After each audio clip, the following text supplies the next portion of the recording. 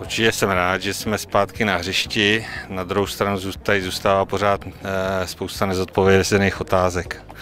Jakým způsobem to bude probíhat dál, tak aby ta příprava byla odpovídající pro, pro, to, pro to vlastně, co děláme, pro profesionální fotbal.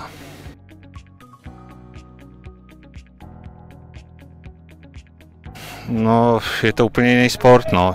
Jako, pokud, pokud eh, řekněme ty skupiny až, až takové omezení nejsou, ale to, že, že tam absolutně chybí kontakt, tak to, to je prostě neakceptovatelný z hlediska toho, že máme jít do ostrých zápasů a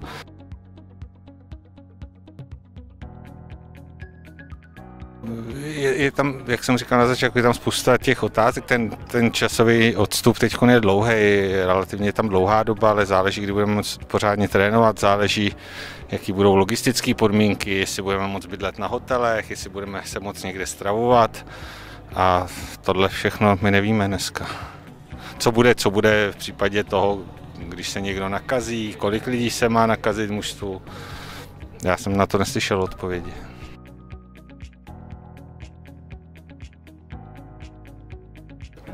Tak pro ten plnohodnotný trénink potřebujeme určitě tak tři týdny. Otázka je přátelský utkání, který, který už by v té době určitě taky museli naplno probíhat a e, nicméně všichni asi chtějí se vrátit na hřiště, ale, ale musí proto být vytvoření podmínky.